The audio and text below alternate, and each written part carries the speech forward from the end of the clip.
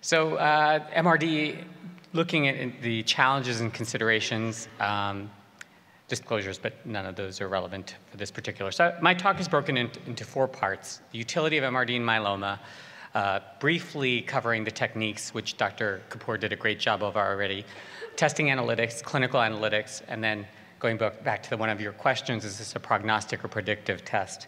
I think um, the way I would look at this in myeloma is that we actually, this is the paradigm for a surrogate marker. We have SPEP, IFE, uh, UPEP, urine protein electrophoresis immunofixation, free light chains, PET scans, MRI. So we have a lot of tests.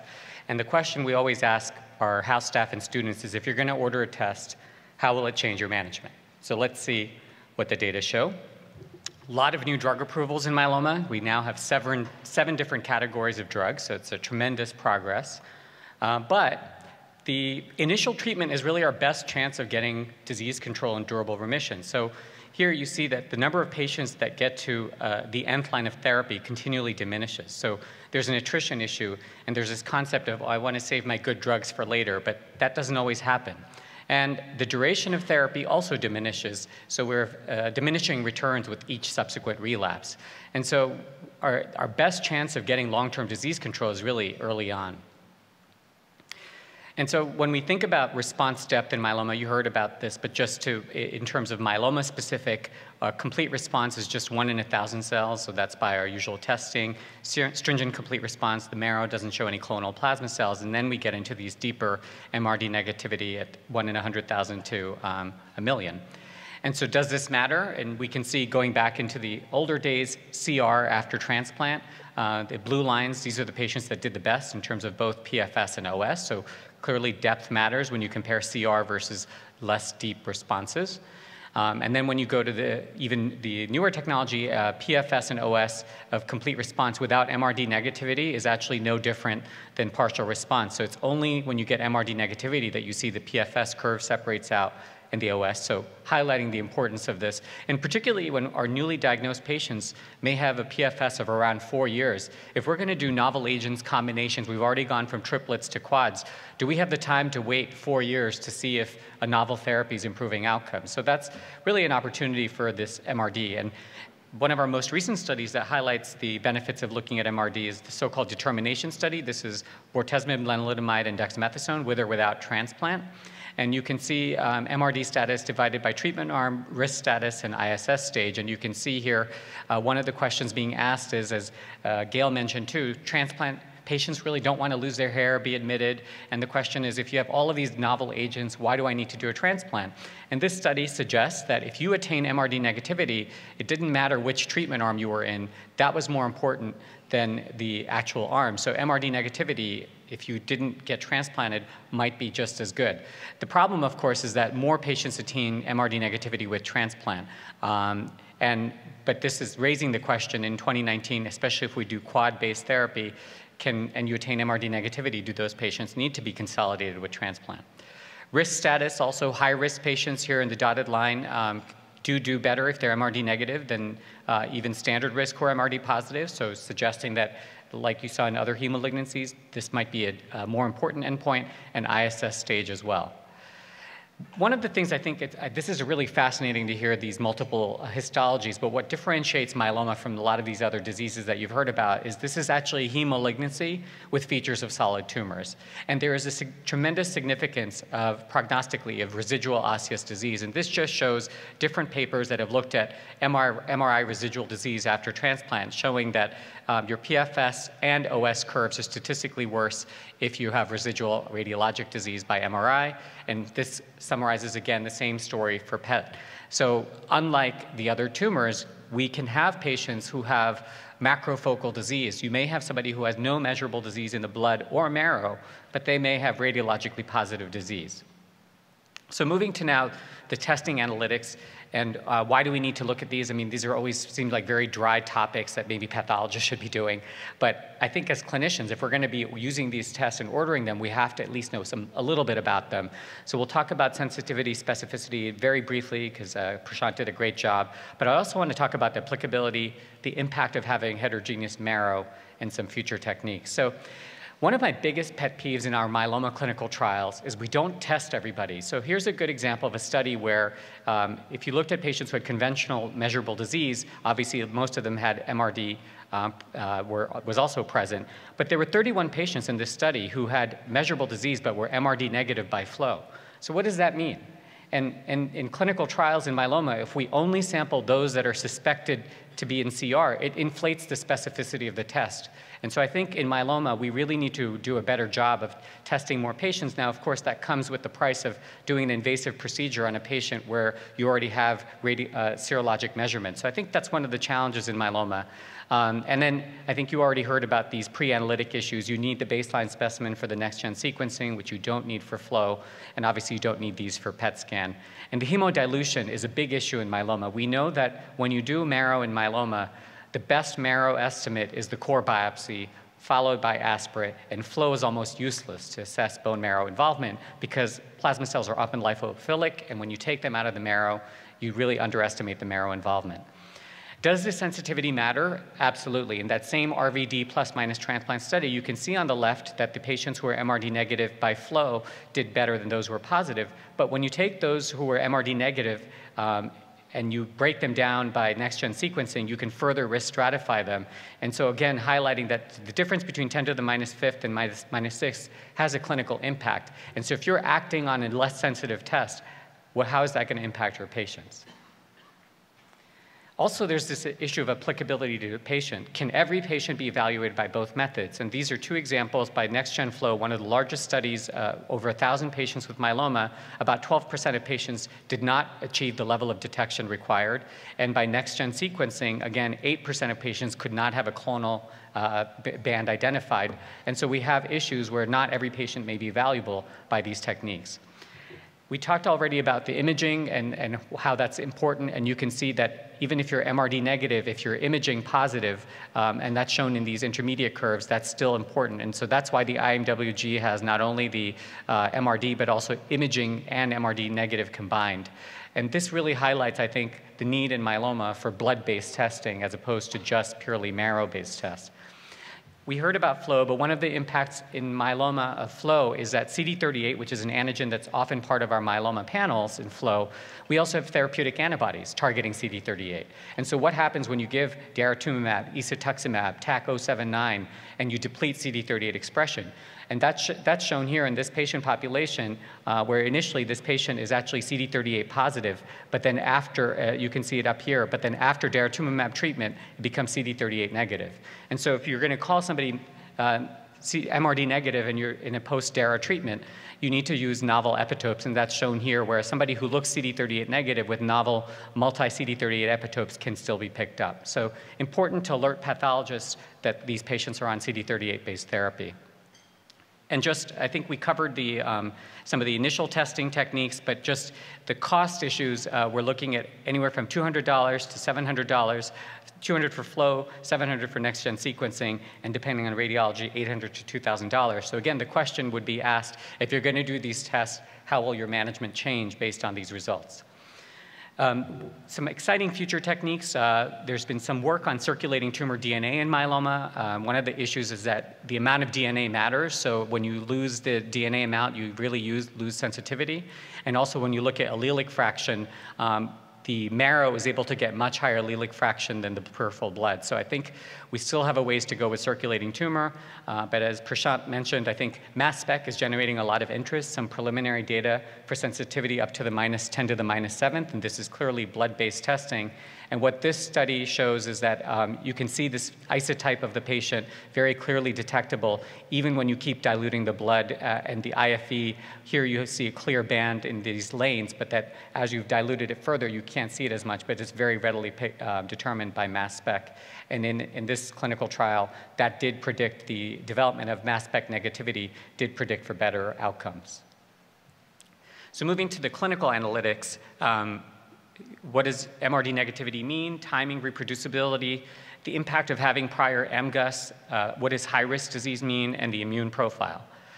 And so this is an, uh, same thing as an AML, as we, uh, Gail just closed with.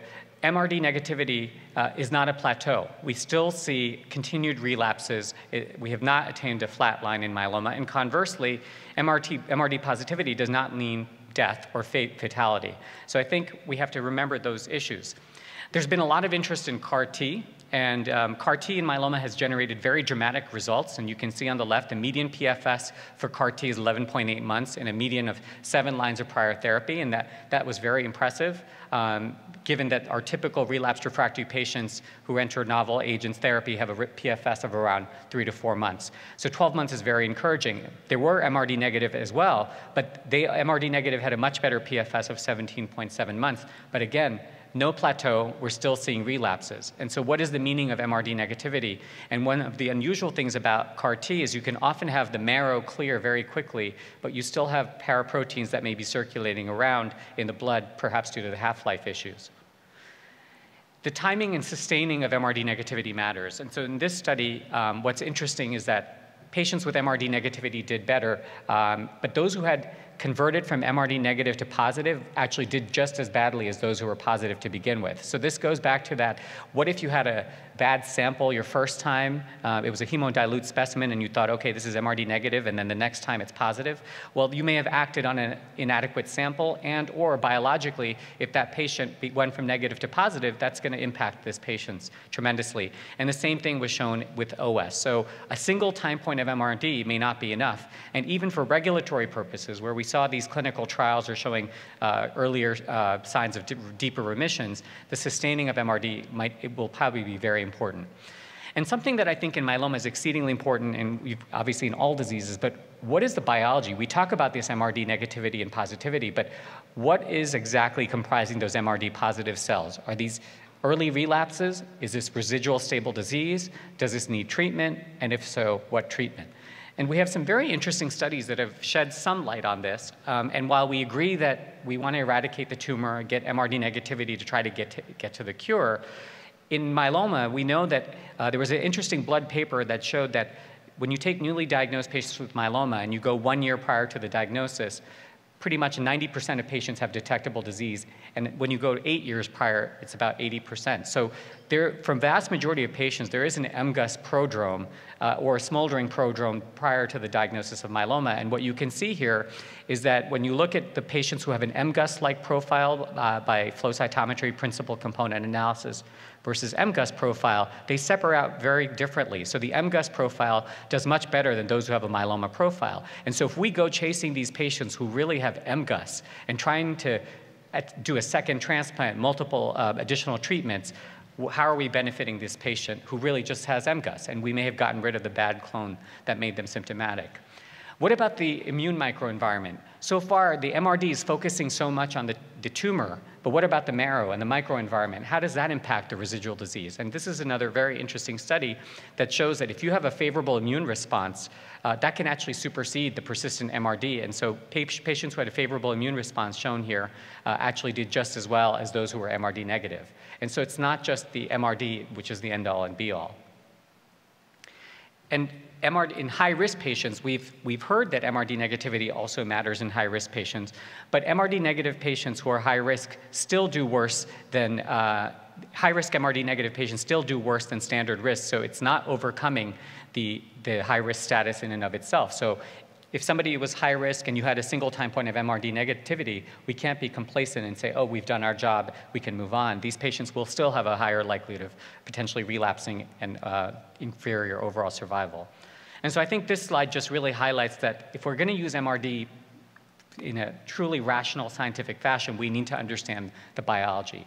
What is the clonal selection that's happening at the different points? What are the genetic profiles, the transcriptomes, the phenotypes? Because if we're going to chase this residual MRD positive, we need to know what it is, who is the enemy, and then use our treatments accordingly.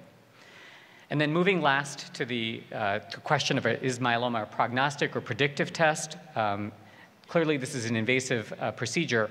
Uh, this is, I think, a very interesting, the JAMA article, which is published, and we really should be applying this for every diagnostic test. First question, will these results help me in taking care of my patients? Will it change my management? So first, is MRD negativity a cure in myeloma? No. Is it the only predictor of a good long-term outcome? No, there are a lot of other predictors, which we'll see shortly. Does MRD status guide changes in therapy? And in particular, I think the questions that we all want to answer, and unlike some of the other diseases you've heard about, myeloma is often being treated in the community.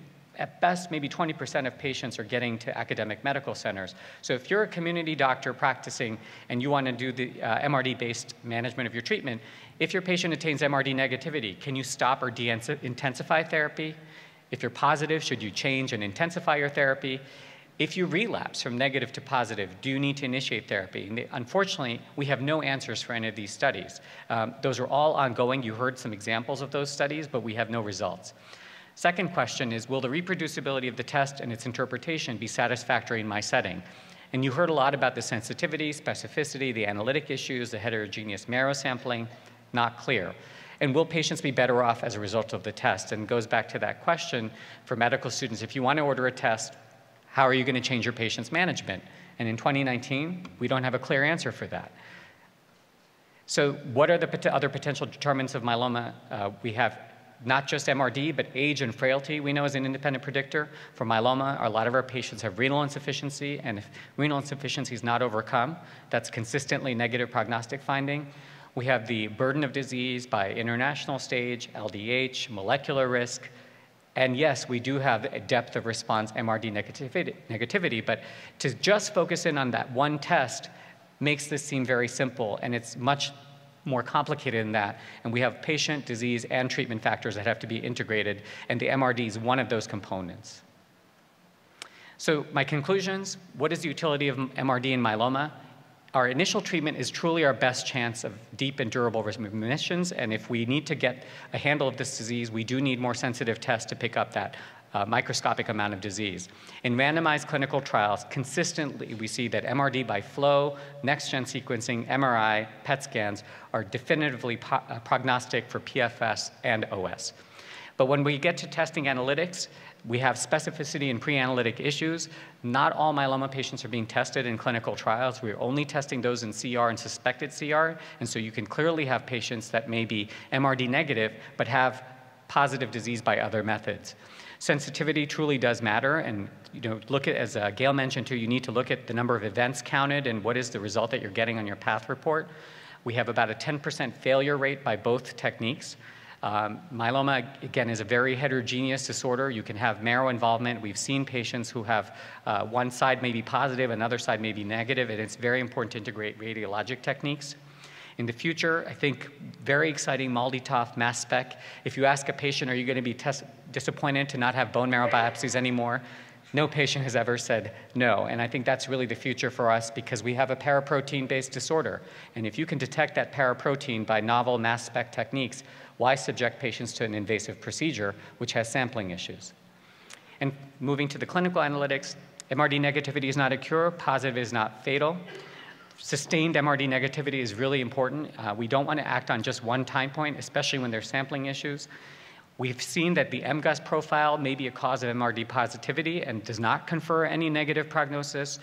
In, and in, in addition, the immune microenvironment, if favorable, can actually override the MRD positivity. High-risk disease patients, high-risk patients we know consistently attain deep responses. It's the durability of response that's really important. And so a single time point, particularly for those patients, may not be enough. And finally, right now we have a lot of data showing that uh, MRD is a prognostic test, but right, it has not been shown to be a predictive test. It's an invasive procedure. Uh, we need blood-based testing. Multiple factors other than MRD affect myeloma outcomes. We have no data currently to alter the length of induction, the need for transplant, consolidation, or maintenance based on MRD results. I think perhaps the one area in real world where I have used MRD eh, is in somebody who has low risk disease and who's having toxicity from therapy. And we want to try to see if does this patient really need to be continued on treatment, and that could be an off-label use of discontinuing therapy. But again, no prospective studies to guide that decision making. And lastly, I think the best use of MRD for myeloma is going to be as a regulatory endpoint. Our patients are living great, uh, long lifetimes now, and for a newly diagnosed regimen, especially if we're going to do quad-based regimens where our PFS may be four years or higher, how are we going to improve on those regimens if we're waiting for years and years to get those results? So I think the regulatory endpoint is the easiest to start using MRD, um, and, and this is uh, going to be very exciting for patients for new drug development. And uh, with that, I'll thank you for your attention.